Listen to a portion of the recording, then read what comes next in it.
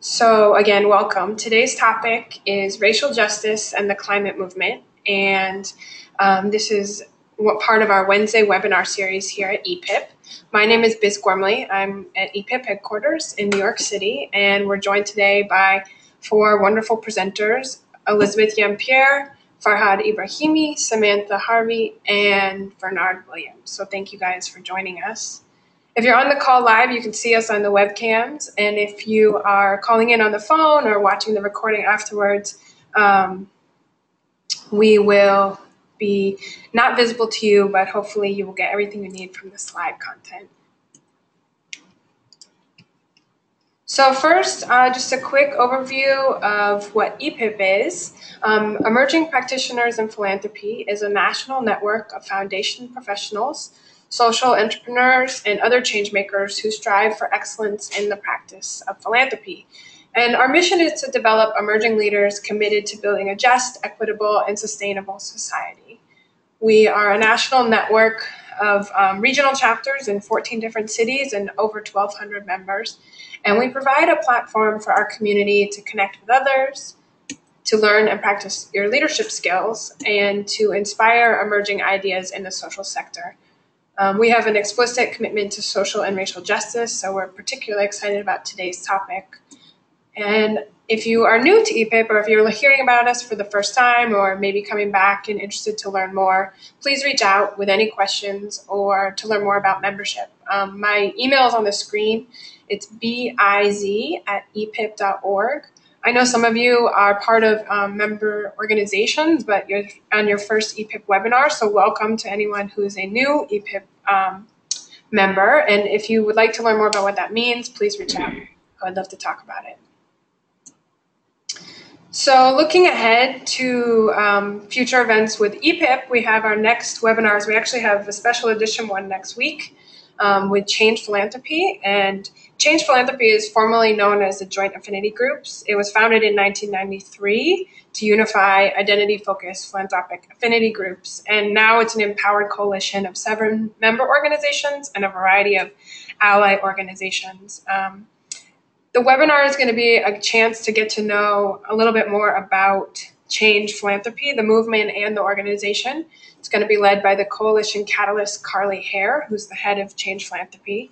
And she's going to introduce the fresh mission and vision, focus areas, and preview the tools and resources that um, Change is making available to all of us on their website when they launch in August. So please join us for that webinar. It's going to be a great opportunity um, for you and hopefully your organizations to join that effort. It's on August 3rd at 3 p.m. Eastern Time.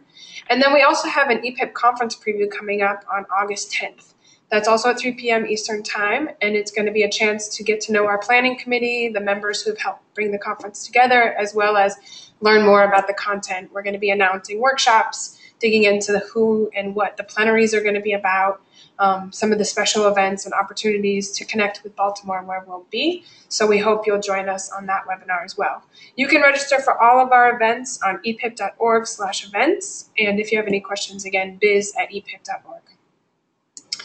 Um, our annual conference is in September from the 13th to the 15th, and we would love to welcome any and all of you to join us. Registration is open. Um, the hotel booking is still open, actually. So check out the link here. It's epip.org slash 2016 underscore nationals underscore conference and let me know if you have questions. And then also EGA has a fall retreat that we wanted to help um, shine some light on. So if you're interested in joining for the EGA fall retreat, it's September 15 to 18 um, Jackson Lake Lodge in Moran, Wisconsin. So it's part of the Grand Teton National Park. Sounds like a beautiful event to be part of.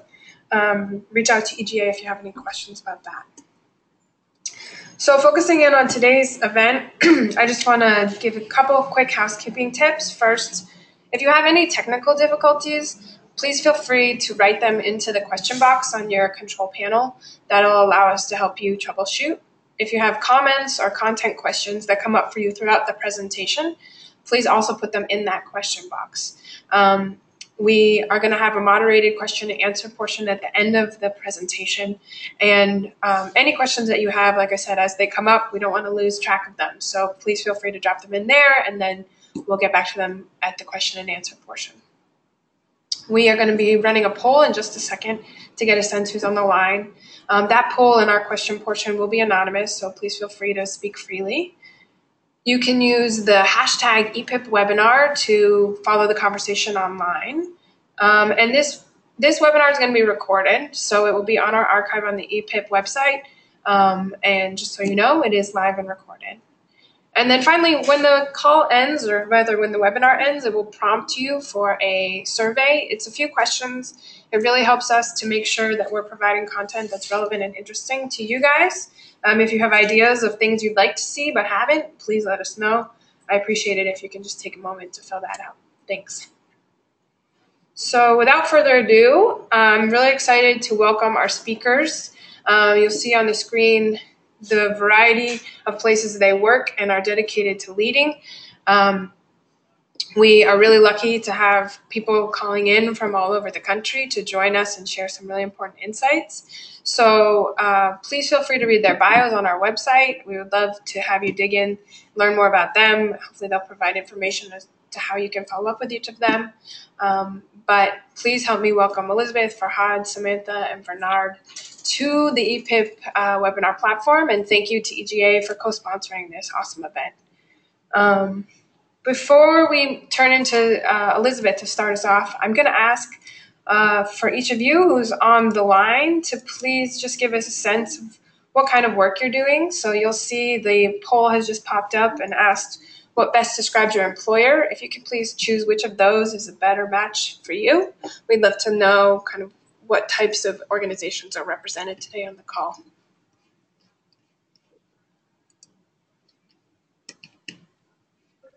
All right, I'm going to leave it open for about five more seconds. If anyone hasn't voted, we'd love to hear your thoughts.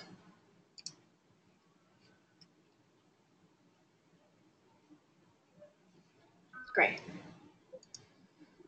So it looks like we're about 54% foundation representatives today uh, 25% calling in from nonprofits, 13% from other types of organizations. You can feel free to write in the question box if that is a place you'd like to describe what other means for you. Um, 2% from social enterprises and 7% from philanthropic advisory firms. Thank you all for joining. So, Elizabeth, I'm going to turn it over to you. I'm going to pop up your slides now, and we'd love to hear. Um, we'd love to have have you take it away. Thank you so much. I, really am really grateful. Uh, buenos dias, everyone. Um, really grateful to EPIP and to this panel for uh, putting this together. This is really uh, the conversation that is being had all over the country. It's central to all of our decision making. We literally are existing at the intersection of racial injustice and climate change. And much of our work um, really is challenged uh, by both of those things. So, so I thank you for the opportunity.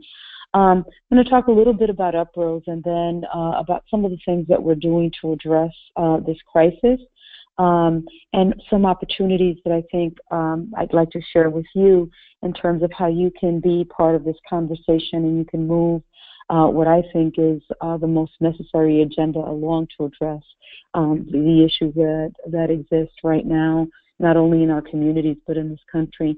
Um, my organization is UpRose, and it's Brooklyn's oldest Latino community-based organization. Um, it's an intergenerational, multi-ethnic, multiracial organization that has been working um, in the community of Sunset Park for 50 years this year. Uh, I've been there since 1996. Uh, 20 years, and since I came, we've been working, we've been dedicated to environmental and social justice. Um, I come and I, I was born and raised uh, in an environmental justice community, uh, and I live in an environmental justice community. And so a lot of these issues uh, that we're working on are quite personal. The climate justice movement comes out of the environmental justice community, and the environmental justice movement comes out of the civil rights movement. So intersectionality has been uh, part of our work for many years. Um, in Sunset Park, Brooklyn, our organization has um, just um, in the past 20 years doubled the amount of open space. We've planted hundreds of trees. We've stopped the siting of a 520 megawatt power plant that would have been the size of three football fields. We've expanded a median on a very busy corridor to make the community more pedestrian friendly. We were able to get back a bus line for our elders when MTA uh, had their bus line on the chopping block. We sent three young people to Antarctica on scientific expeditions, young people from the neighborhood, uh, one to the South Pole. Um, we hold the largest gathering of young people of color on climate change in the country. Up to 750 young people come to learn about climate change and what they can do in their community. And one of the reasons we do it is that we feel that young people of color have really been left out of the climate change conversation.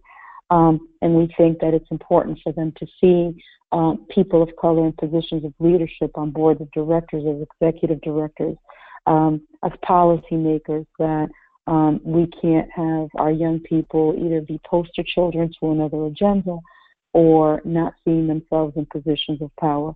That a lot of what they've learned, they learned by watching and absorbing. Um, and so when gatherings are held and the leadership doesn't look like people from the communities, um, they they really internalize that.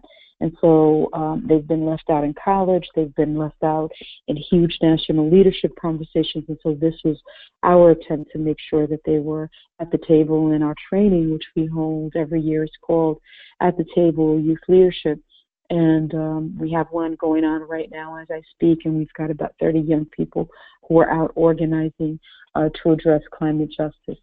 So these are some of the things that we did uh, not because we were environmentalists, but because our people couldn't breathe. They were suffering from asthma, upper respiratory disease, living in cancer clusters, living in the midst of environmental burdens. You know, many times one of the things we've said for years is that our communities are the unreluctant, are the reluctant hosts uh, to the um, to the infrastructure that exists in our communities.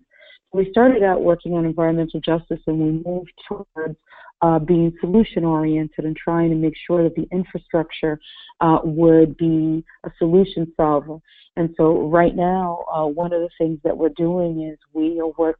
Sunset Park is located in New York City's um, largest significant maritime industrial area, and that industrial area is being commercialized. Um, and it's a real problem in New York City. I use New York City as an example nationally because our industrial sectors are uh, really losing the manufacturing jobs and they're losing the opportunity to build for climate adaptation. What's happening not only in New York, but in Detroit, in California, everywhere where people of color have basically um, made their living and are part of a working class community, um, is that these industrial sectors have become commercialized and become sort of um, this playground for the privileged. So maybe it, it, in, in Sunset Park, it's becoming like they like Williamsburg and like Chelsea and like Dumbo. Um, and what these industrial sectors do, if you look at the next slide, is it really provides us with a vehicle for building for climate adaptation and resilience, for building blue collar jobs that pay three times as much as as commercial jobs. Uh, places where instead of assembling parts for offshore wind, we could have a an industrial manufacturing hub for for offshore wind. Um, we uh, Uprose and Sunset Park is looking at and very close to operationalize one of, operationalizing one of the first big uh, community-owned solar uh, initiatives in New York City and maybe possibly in the country.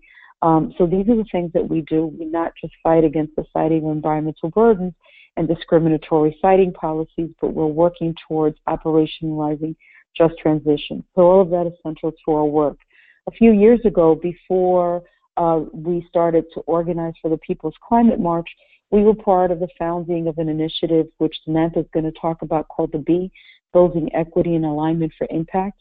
And the idea behind that uh, is that given the size of the urgency and the size of the of climate change, uh, that we would start um, working on building alignment between big greens, grassroots organizations like mine, and funders. That we understand that in order to be able to even address this problem and for the front line to sustain meaningful engagement over time, that resources would have to be allocated in a way that was more uh, that, that was more just. Um, we know, for example, that um, given the amount of resources that grassroots organizations have, that per dollar our accomplishments often exceed what is what what what, what larger organizations actually have in terms of outcomes. So, so this conversation is really important because what's happening in grassroots communities or in, in community organizations that are that are led uh, by grassroots organizations is that uh, not only are we building um, leadership on the ground uh, that understands the intersection of these issues, but we also are operationalizing solutions that are really making a difference in our community.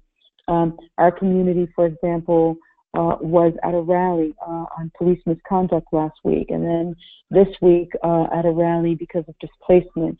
Um, and this afternoon, working on a block-to-block organizing effort to teach our community about um, about climate change.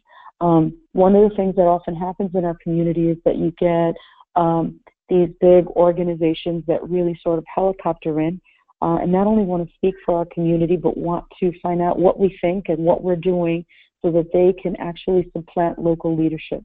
This conversation is important because if that continues to happen, as it has for many years, where funders often think about success in terms of the size of the budget and not the size of the impact of an organization and prefer to put their funding and support behind larger organizations than those that are grassroots led organizations or organizations led by people of color what you're going to have is, is um, a nation that is majority made up of our people, uh, people that are that are the least responsible for creating climate change, but are the ones that are going to be most impacted, and they're going to be disengaged.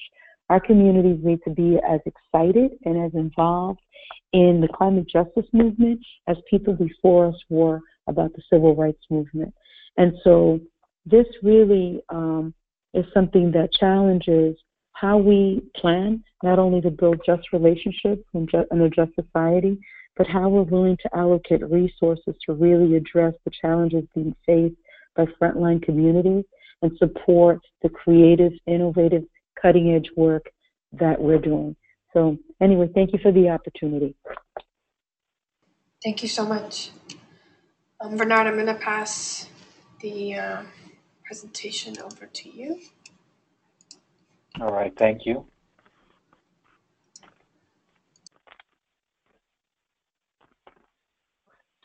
Hello, everyone. Can we see my screen? Yes, you're good to go. Okay, fantastic. Thank you so much. Uh, thank you so much, Elizabeth, for, for what you just shared. Um, and I think I will uh, show a, a, another side that can help us um, in terms of listening to what Elizabeth has just shared. Uh, we're on this, all on this call because we want to create an unstoppable uh, climate movement that is just and inclusive. And I'm here today as an African American ally that has always cared about the health of our planet. Um, but in my eight years of working in the environmental field, I perceive that green organizations and funders focus more on the planet than the people who inhabit it. And these experiences have frustrated me to points where I've considered removing myself from the climate, climate fight altogether. And unfortunately, my story isn't unique. Uh, you see, every day people of color and other historically less privileged groups must perform triage on how they will overcome systemic oppression. And so today, what I'm going to do is show how committing to an institutional transformation will increase the relevancy and the impact of the climate fight, freeing us to uh, create the unstoppable climate movement we all seek. So a key takeaway is going to be that internal equity work is essential for organizations and funders to effectively deliver on a message uh, mission for social change. And let me explain why an internal approach is vital. You see, climate change, as Elizabeth has shared, is a justice issue. Those least responsible suffer the most from the causes and impacts. 68% of African Americans live within 30 miles of a coal plant. Uh, asthma is the top reason why students miss school. Low income communities have fewer resources to adapt to a changing climate. And this is on top of the other systemic issues. Uh, like African Americans, for example, represent 26% of juvenile arrests, yet 58% of state uh, prison uh, admissions. So, an inclusive intersectional approach is necessary for an effective movement.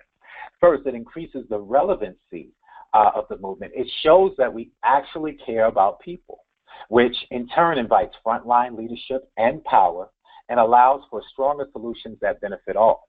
But we must change ourselves to create the safe space for an intersectional approach.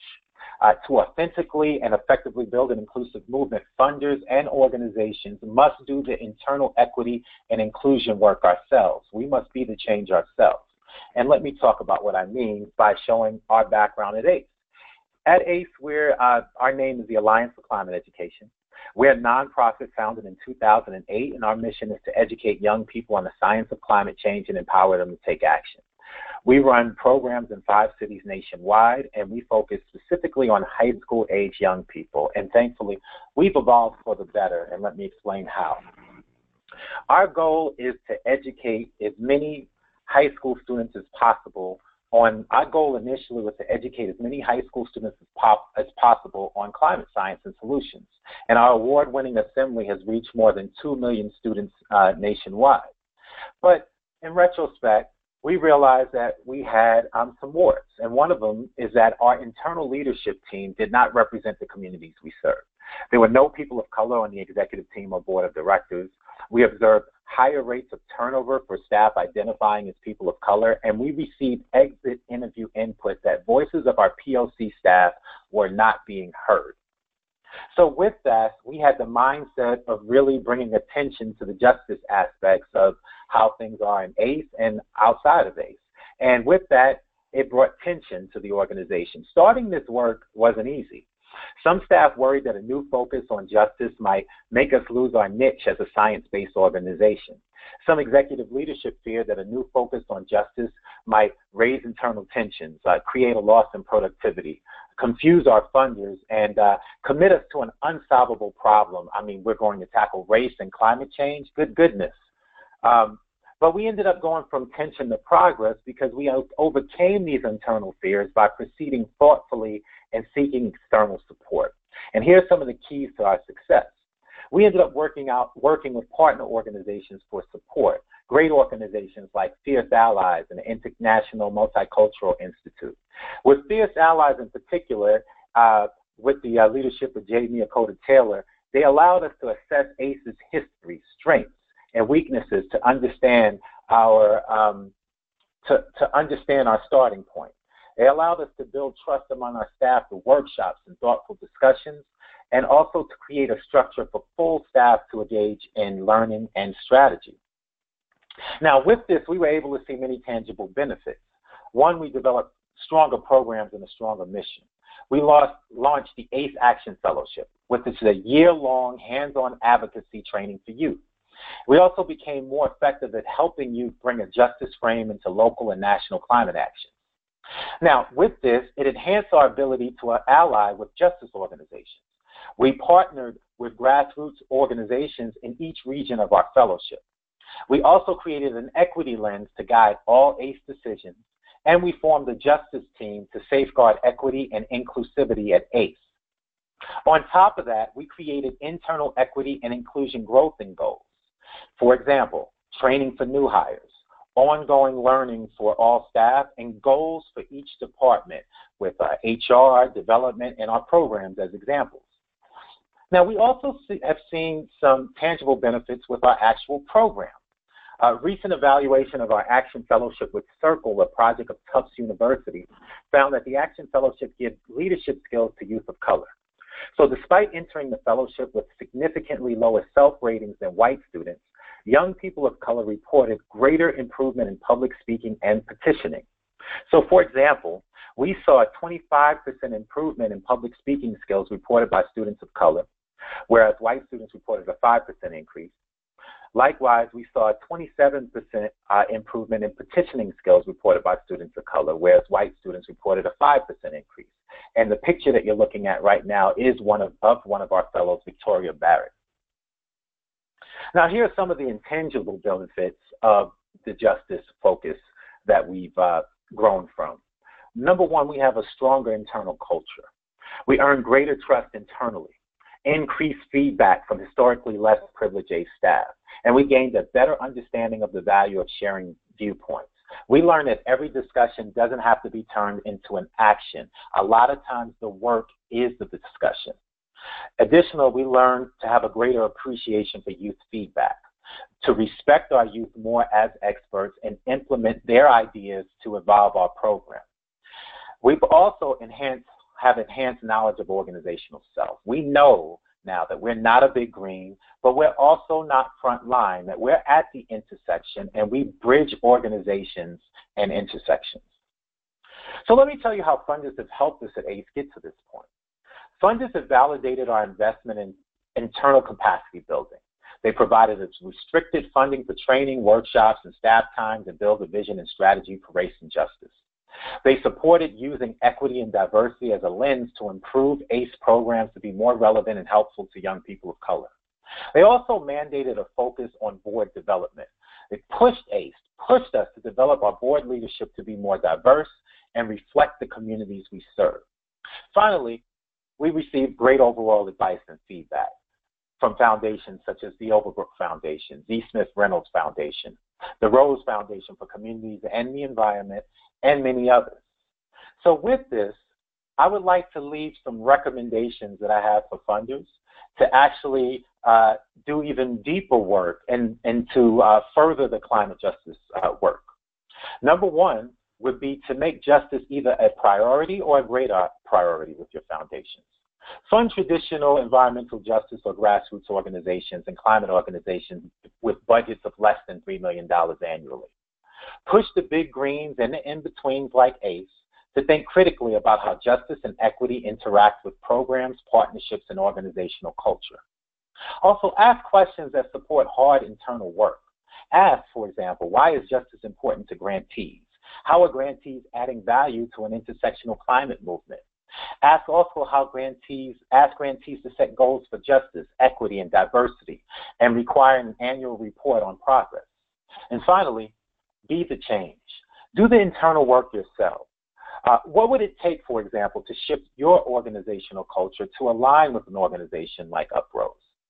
Ask and listen for grassroots perspectives and show that this influences your funding strategy.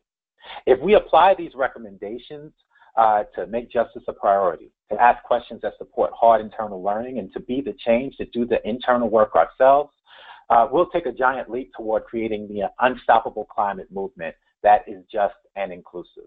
Thank you very much. Thank you so much, Bernard. Um, I'm going to turn the mic over to Farhad. Hi, y'all. And can everybody see my screen right now? Yes, we can. All right, excellent. Um, so hi everybody, my name is Farhad Ibrahimi and I've worked with a foundation called Chorus for the last uh, 10 years or so. Uh, our mission statement is to support a just transition to a regenerative economy in the United States. Um, and to do that, we support communities on the front lines of the old extractive economy to build new bases of political, cultural, and economic power for systemic change. And what I'm about to walk you through right now is a sort of, whoops, is a bad slideshow thing that didn't go right. So bear with me for a moment as I bring that back up. There we go. Um, this is an adaptation of a piece I wrote last year called What We've Learned After a Decade of Climate Funding and What We're Doing Instead. And in the interest of time, I'm going to spend a little bit less talking about what we saw 10 years ago in our peers in uh, philanthropy who were engaging on climate and talk more about what we've learned over the last 10 years. And so there's three main lessons, uh, which I've just put up. And they may seem sort of obvious, but I'm going to talk through what I think their implications are, both for the kinds of strategies we look to support, as well as what it means for how we support them as philanthropists. So large-scale social change requires social movements.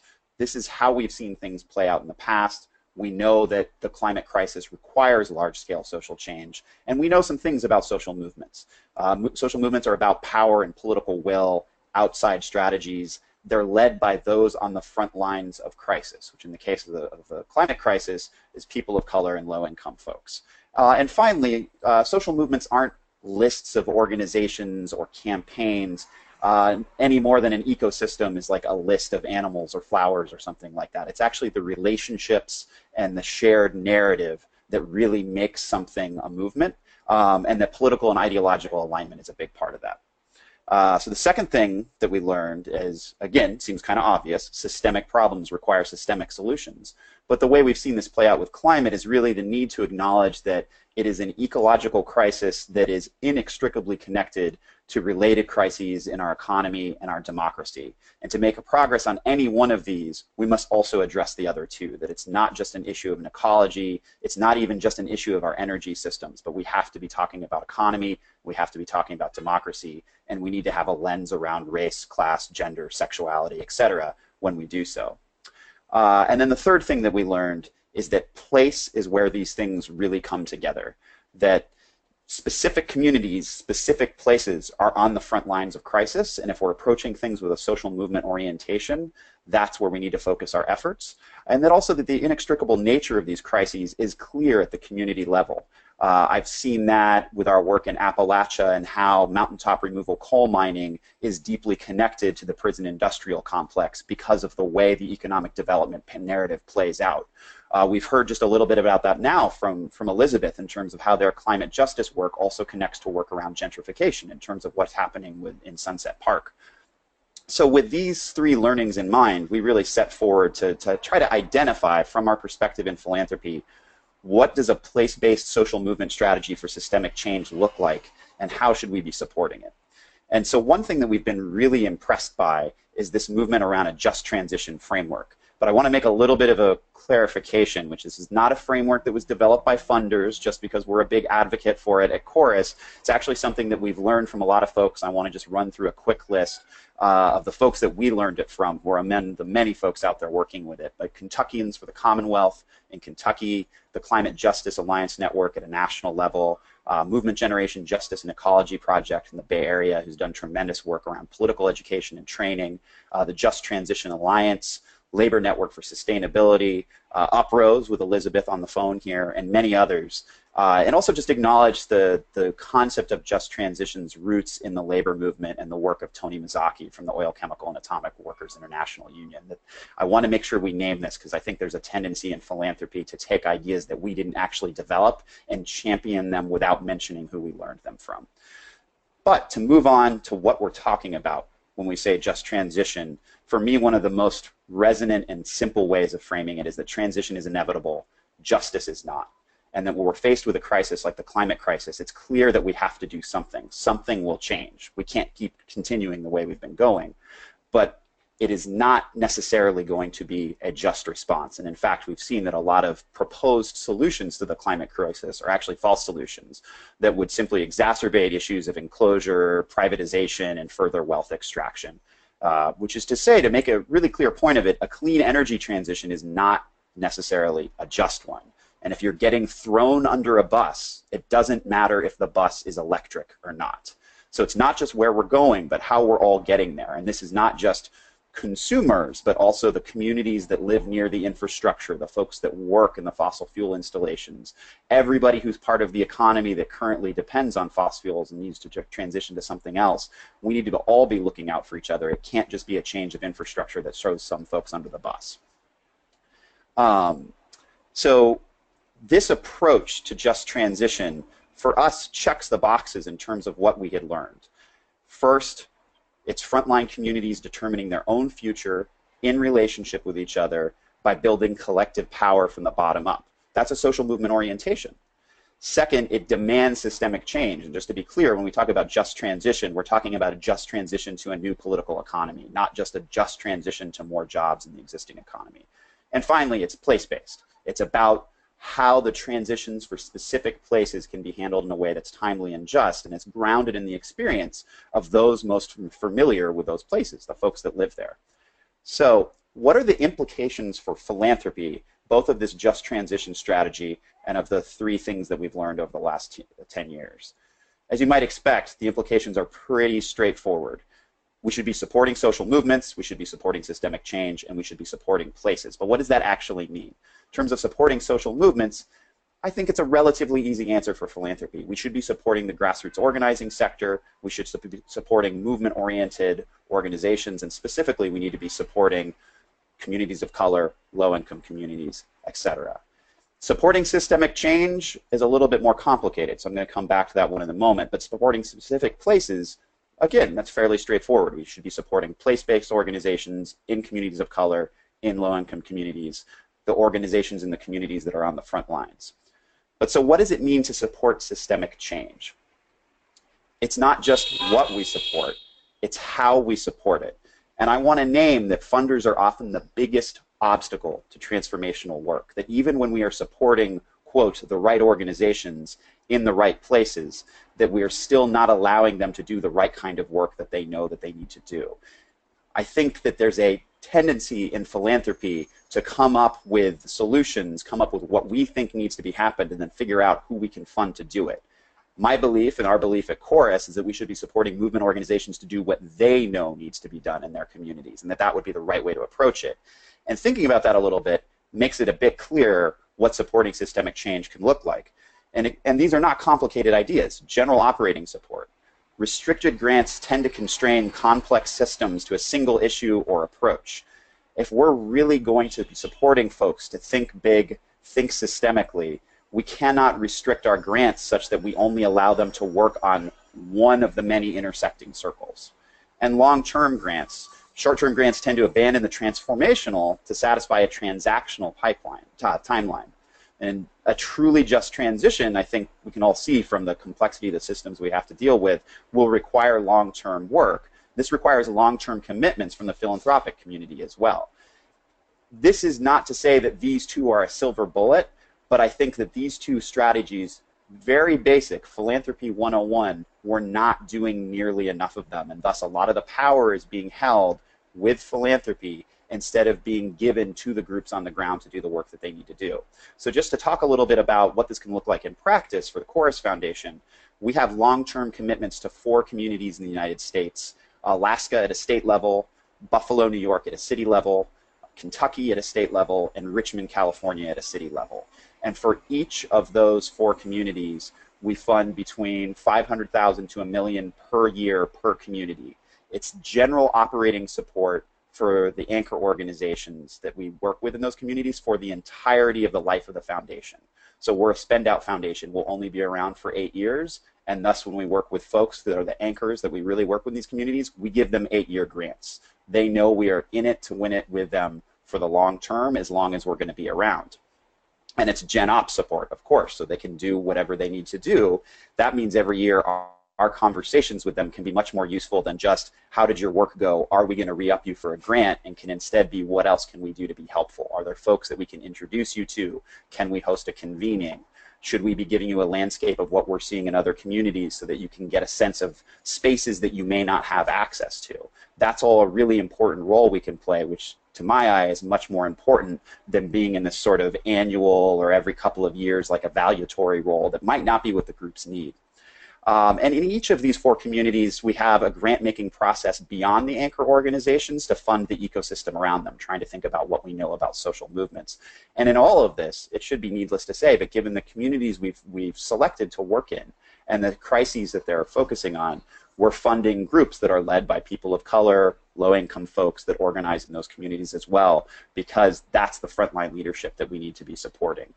Um, this all adds up to be a little over two thirds of our grant making budget, and the remaining one third is mostly about networks and movement support organizations that work with these communities. So even the national organizations we're supporting, whether they're a network or they do training or they run a conference, they are you know, networks, conveners, trainers that are relevant to these specific place organizations, place-based organizations that we support.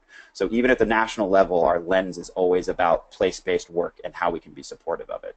Um, this is again, this is all in the context of spending down. We believe that given the climate crisis, it's more important for us to move our grant making now, and also spending down gives us the clarity needed to make these long-term commitments.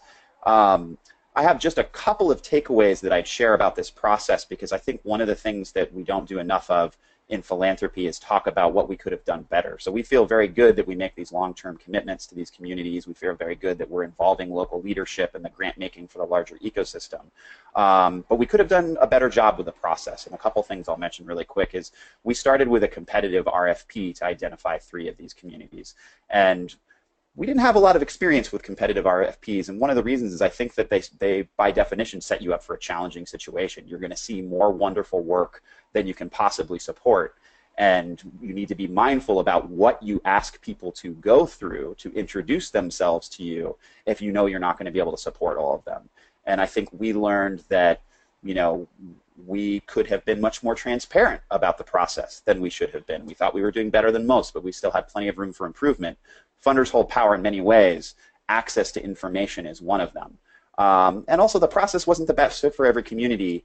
And without a larger sense of what other grant making could look like, what the opportunities are for smaller, shorter grants, et cetera, it can look like this is an opportunity to get well resourced for eight years, which seems great. But what about the folks who aren't ready for that? What about the folks who aren't in the right geographies for that, et cetera? And I think we did not do as much thinking as we could have done in terms of ways that this grant making process could have been uh, connected to other grant making processes. And this is a transition to my last point, which is it's not just about what else we do as a foundation, it's about how we connect to other funders. And we have just had reinforced for us a number of times over the last 10 years the importance of funder organizing, not just going to conferences and doing webinars and things like that, but getting real about building relationships, alignment, and collaborating really deeply. So I'm excited to talk to any of you all who are interested in talking about this. My contact information is on this last slide below. It's farhad at chorusfoundation.org. And I just want to thank everybody. It's been a real honor to, to be on this panel today. Awesome, thank you. I'm going to turn um, the mic over to Samantha who has a few comments and then we'll jump into questions. So if folks want to start typing questions into the box, that would be great. And Samantha, if you want to take it, sorry, I'm just making myself the presenter. Okay, thank you. Yeah. So thank you so much, uh, Elizabeth Bernard and Farhad. It's a really excellent depiction of how you're coming at uh, this work from different angles. Really, really helpful. Um, so as Biz said, I, I'm just going to talk for a couple of minutes, and while I'm talking, if you're a good multitasker, you can just type your questions into the text box on the side of your screen, and then in about three or four minutes, we'll go into questions and answers. Um, so hi, everyone. I'm Samantha Harvey. I'm a, a, program officer at the Overbrook Foundation in New York City. And I'm also on the support team of a grassroots-led multi-sector initiative that Elizabeth mentioned called the Building Equity and Alignment for Impact Initiative, or the BE Initiative. And uh, I'm going to just talk really briefly about what B is and also how um, working with B has influenced some of our work at Overbrook. So Overbrook is a small family foundation based in New York City, and we have an environment program and a human rights program. And most recently, we've been developing a movement building program that sort of sits at the confluence of those two. Um, in between, and uh, the, you know, we've heard this word intersectionality come up today. So the movement building program is working at the, the confluence of those two programs. Um, so silos and parameters are restrictions that many program officers are familiar with, and one thing I've learned through the work uh, with the BE Initiative is that many frontline community groups, groups that are rooted in communities of color and white working class groups, are doing intersectional, radical systems changing work. You know, looking at health, education, gender, race, displacement, police brutality, some of the things that we brought up today. Um, but because of this intersectional approach and the parameters that funders find themselves under, many groups on the front lines are right off the bat eliminated from foundation funding, since funders tend to have strict silos around what we're able to fund. So Overbrook's attempt to stretch and break out of those restrictions was through the creation of a movement building portfolio that can really dig into work that might not otherwise fit. So this is one way that we're trying to make the most impact we can with limited resources, and, and that work has been very influenced by the B initiative. Um, and it's still in development. So the B Initiative, we can maybe go to the next slide. Thanks, Chris. Um, BE Initiative was launched by Overbrook in 2013, uh, primarily to figure out what it would take for the environmental movement to work better and more effectively together. And pretty quickly we discovered that in order for that to happen, as a foundation we needed to get out of the way and we needed to look beyond just environmental issues, um, like Bernard was talking about earlier, um, look at uh, the people and the planet together, and we needed to launch the initiative, but then deliberately take a step back.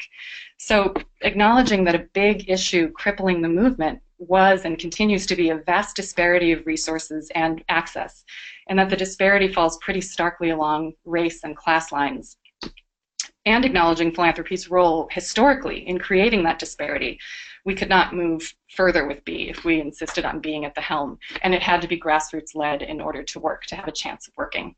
So we convened a group of about 25 grassroots representatives uh, representing networks and community-based coalitions, about four philanthropic representatives and four representatives from what we called mainstream green groups. Um, and uh, we insisted on the grassroots leadership. We rooted our work uh, in the uh, Jemez principles of democratic organizing and also the equation that you'll see in this little graph down below, um, equity plus alignment equals impact. So meaning that we need political alignment and both financial and relational equity in order to have the greatest impact across the movement. So it's not just about who has the resources, it is about that, but it's also about who's invited to the table, who's expected to represent whom, and who is really guiding the work that is affecting the communities that we're talking about. And it should be, the work needs to be guided by the uh, communities that it's rooted in. So almost done. Uh, B's goals are to shift resources to the grassroots organizing sector, uh, to break down historic barriers between green groups, funders, and grassroots and build equitable partnerships, and also to support funder culture to engage with a bottom-up community-based approach as opposed to a more traditional top-down approach. And we work toward these goals through a variety of work groups and projects.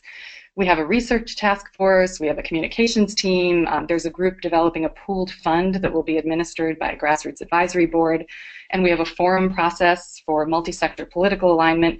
And through all of this work, we keep coming back to the Jemez principles and the equity plus alignment equals impact equation. Um, so maybe let's go to the next slide. It's just the little, the B logo.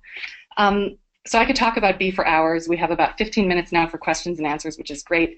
Um, we do have B, the B Initiative has a grassroots-led leadership team that I'm happy to connect anyone uh, with afterwards, and I know that there are a few on the call right now. So if you want to email me, um, I'm happy to connect you with B's grassroots leaders and to answer any more questions. And I think just quickly before we jump into Q&A, I just want to say that it's easy as a funder, you know, once you sort of uh, learn about some of these issues, it's easy to kind of wallow in despair and feeling like um, feeling helpless or maybe even defensive about the work that we're doing because the truth is none of us would be here if we weren't good people trying to do good work for the planet and for our communities. Um, so what I have learned through B is that um, this isn't about me and it's not even about my organization. We're looking at long historic trends, long historic trends of colonialism, of racism, of elitism.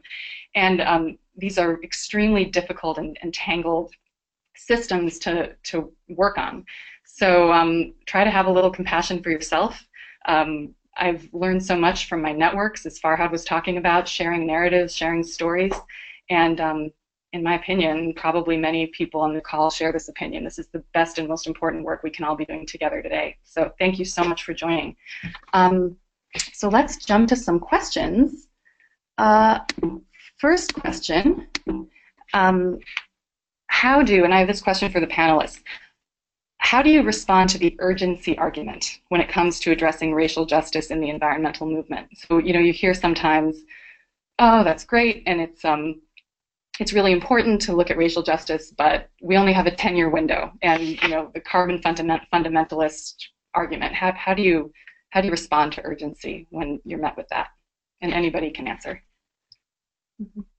Um, well, th- this is Elizabeth. Um, I think that we in our communities don't have a choice between choosing between racial justice and climate change. We have to do both. Uh, you know, our communities, I, I know that in Brooklyn we've had three tornadoes and we were hit by Sandy um, we're going to be impacted by all of those.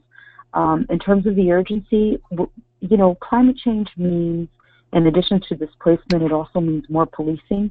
Um, with recurrent extreme weather events, there's going to be more policing. We know the Pentagon has been meeting to talk about how to deal uh, with these kinds of events and, and, and martial law. So we, we know that climate change is already here, and we also know that our population is growing by leaps and bounds. And by 2042, we will be the majority in the country. So we will be the majority in the country at the very moment where it has fully taken hold of the United States. So, so there is there is that urgency, and so we don't have time to start preparing for it, we need to start, we literally need to start doing it right now, and that's what we're doing in our communities. That's why uh, operationalizing just transitions is so important. The focus on carbon doesn't tell the whole story of what happens to an EJ community. In our communities, we're also dealing with co-pollutants with NOx, SOx, carbon monoxide, carbon dioxide, all of the things that are actually killing us and creating health disparities and have been for such a long time. So we have to work on all those fronts at the same time uh, because literally lives are at stake, and it's not rhetoric. That that that's real. Mm-hmm. Somebody else have a response, or we have a, a, number of questions coming in that I could skip to? Uh, this is Farhad. I would just add that I think when folks talk about the argument for urgency, it's who gets to make the decisions urgently. If we're making decisions that affect Sunset Park and Elizabeth's community gets to make urgent decisions, that's very different than saying because of the urgency that somebody else from somewhere else gets to make those decisions. So I think part of it is it's not the urgency it's the problem. It's what the urgency suggests that we do differently. And if it suggests that we don't include the right folks in the decision making, then urgency is a problem. Mm-hmm. Okay, thank you. So uh, the next question is more specifically for Renard. Uh, it says, um, uh, funding EJ grassroots organizations doing internal equity assessments. Okay, so oftentimes diverse organizations don't get funded because foundation boards are not diverse and inclusive themselves. Bernard, can you talk a little more about how ACE was able to do that internal assessment? And how did you get enough people on board in order to be able to do an assessment and stick to the goals you developed? Uh, that's an excellent question. Uh, I think uh, what really helped us, uh, first off, is listening to our field staff, the people who are closest on the ground, uh, working with students directly. Uh, from them, we learned that we needed to focus more on stories, the stories of the actual young people who are there facing challenges every day and listening to them. And as we listened to them and learned from them, it uh, gave us some more footing and it allowed us to uh, do the work internally ourselves that our young people were bringing, uh, bringing up to us and also relaying those stories and that information to our board, to funders, and that's what helped us create and, and continue to build that commit that uh, momentum to be the change ourselves. Mm-hmm. Elizabeth or Farhad, do you have anything you'd like to add from your own experience?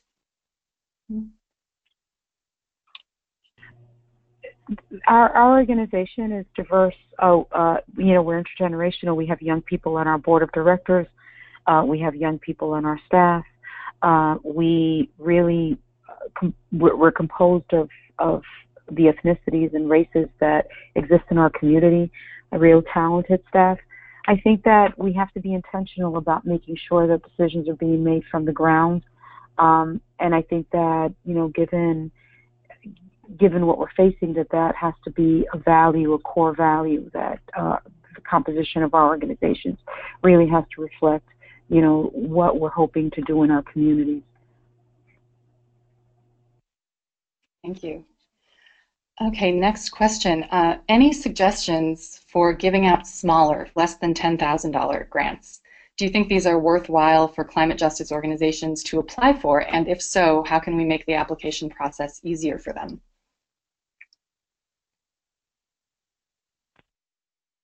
Can you take so, I'm sorry, as a, as a grassroots organization, yeah, absolutely. Um, you know, we can make. We have a whole. We have a history of stretching the dollar and doing a lot with a small amount. That's that's always what we've done. The biggest challenge always is having to spend so much time trying to access the funds, um, reporting systems that are really complex and burdensome. That if funds like that are available um, there has to be some trust or maybe even getting recommendations from other funders or looking at our outcomes of the things that we've accomplished as uh, as a way of assessing uh, rather than um, than asking for a lot of paperwork or reports or applying for a grant that is really cumbersome. Uh, every time that we spend hours doing that, those are hours that we are taking from doing the work on the ground. And many of us work you know, Saturdays and Sundays and evenings whenever our community is available. I think that um, working with the B would be really helpful. Uh, the B really has influenced a lot of funders on how to think differently about how how you should, you know, how you can support the grassroots, um, and also with the Chorus Foundation. Um, there are other foundations that are now setting up processes that are a lot um, that are a lot sim- simpler uh, for grassroots organizations to take advantage of. Or Farhad, you want to speak to that? I would say that, I mean, so, you know, we, Chorus makes fairly large commitments to specific organizations, but we also do a lot of grants that are, you know, 10K and less. Uh, and a lot of those, uh, this is sort of anecdotal, but I think end up being on the connective tissue as well. So there's we, there will be small grants to small organizations, but also having a travel budget that folks can use so that they can go to convenings they want to go, they can visit other organizations that they want to connect with and learning from. Um, those are small grants, and those are small grants that often have, as Elizabeth was referring to, like just as much process as really big grants, which doesn't make any sense. Um, you know, I think also just a couple other things that can be done with smaller grants.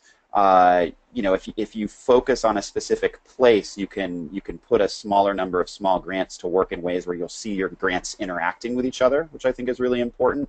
Um, and also having a grant making budget for organizing other funders. So when you're thinking about that connective tissue and how you might support uh, organizations to travel and, and, and visit each other or small convenings or things like that that can be relatively small grant sizes.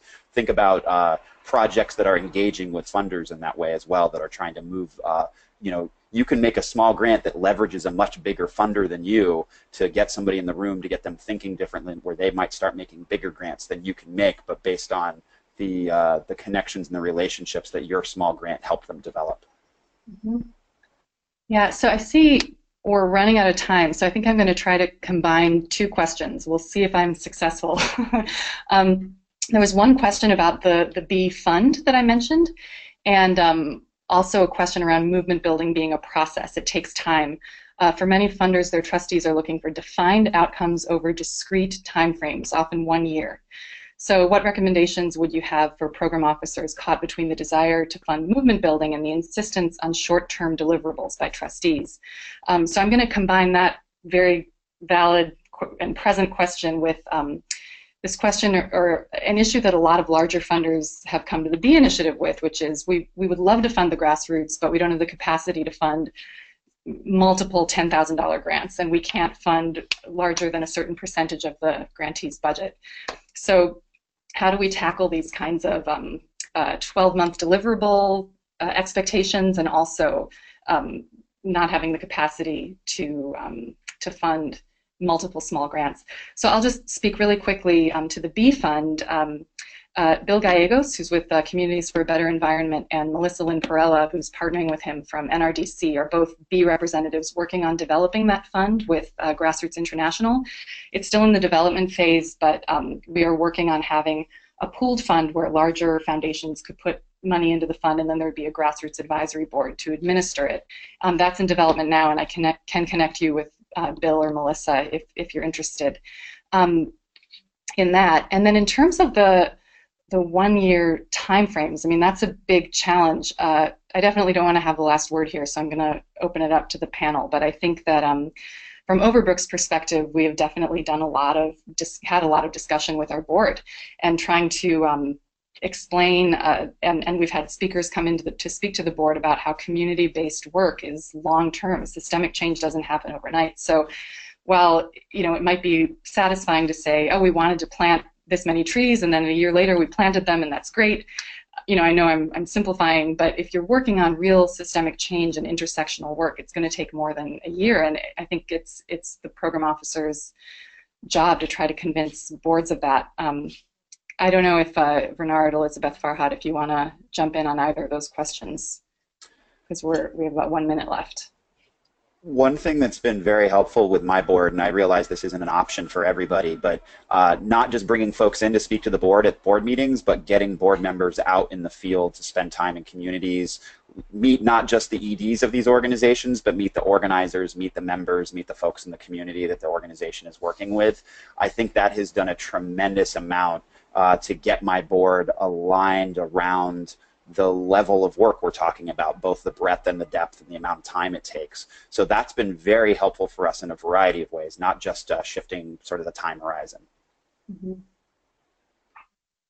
You know, and I would add uh, as well, this is Bernard, um, with what Farhad said in terms of the internal work that um, funders and boards can, can do, um, just really being able to, to take the time to uh, peel away some of the levels of privilege that you have at this point so that you can um, best ally with grassroots, with uh, the nonprofits that are here. When you're able to do that and be able to have a better understanding of that uncomfortable place uh, that people who historically have less privilege have, you're able to uh, think outside the box, be more helpful, and ally better. Uh, and so those are things that I would just encourage uh, boards and, and funders to do as well. Do we have time for one more question? We got to wrap it up. Yeah, this is Biz from EPIP. I know some people may have to go, but there are a couple or maybe one more question lingering. So if you have to go, we understand everything will be on the recording and I will send that around. But for anyone who's able to stay for just a moment more, um, there's maybe one more question if you want to bring that to the panel, Samantha. Sure, sure. So uh, this is a question for Bernard. Can you share if there was a particular organization or consultant that assisted you with the internal equity assessment? Yeah, there are. Thank you. Uh, this is Bernard. There are a couple of things that helped us. Um, uh, one is the uh, I have to honor the incredible work of uh, Jamie Akota Taylor uh, with Fierce Allies. Um, uh, what she focuses on is being able to uh, to to teach everyone to to talk in those uncomfortable spaces and to be safe, a safe and uncomfortable space to be able to do that work. Uh, the other thing that we utilized is uh, Race Forward has on their site they have an, an let me look at the name of it uh, an internal equity assessment. I can't remember the exact name of it. Uh, that's on their website, and we were able to use that to create our uh, our equity lens that I had mentioned before that will help us in each and every decision making that we make at ACE. So I would look at Race Forward site and also look at uh, Fierce Allies. And we've also utilized recently International Multicultural Institute as well. Yeah, um, I know um, I've also been, I'm on the board of Center for Diversity in the Environment. They're also a group that a lot of funders have looked to.